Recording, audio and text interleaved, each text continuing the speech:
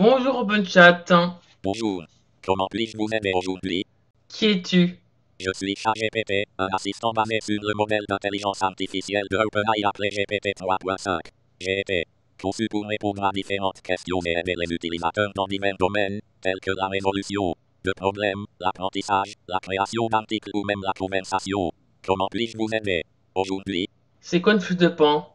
Une flûte de pan est un type de flûte traditionnelle tibétaine utilisée dans la musique du Bhoutan, du Nord-Est, de l'Inde et d'autres régions du sud de l'Asie. La flûte de pan est généralement en bois, avec six trous pour les et un trousseau en forme de colimaçon sur le haut.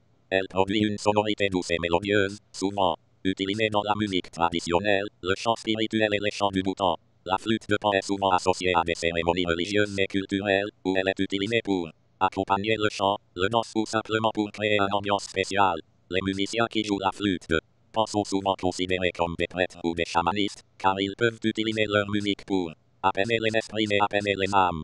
Et c'est quoi Ubuntu? Ubuntu est un système d'exploitation basé sur Linux, développé par la compagnie Canonical Ltd et sa communauté. Il est l'un des systèmes d'exploitation les plus populaires pour les ordinateurs de bureau et les serveurs. Le terme Ubuntu vient de la langue bantou et signifie généralement humanité ou fraternalité. Il reflète l'idée que les êtres humains sont liés les uns aux autres et qu'ils doivent s'aider mutuellement pour vivre en paix et en harmonie.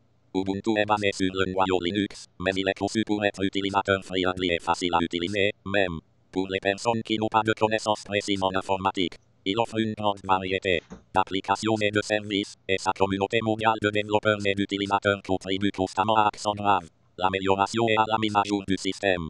En résumé, Ubuntu est un système d'exploitation open source qui se veut simple, sécurisé et mis à jour, avec une philosophie basée sur le partage et la collaboration.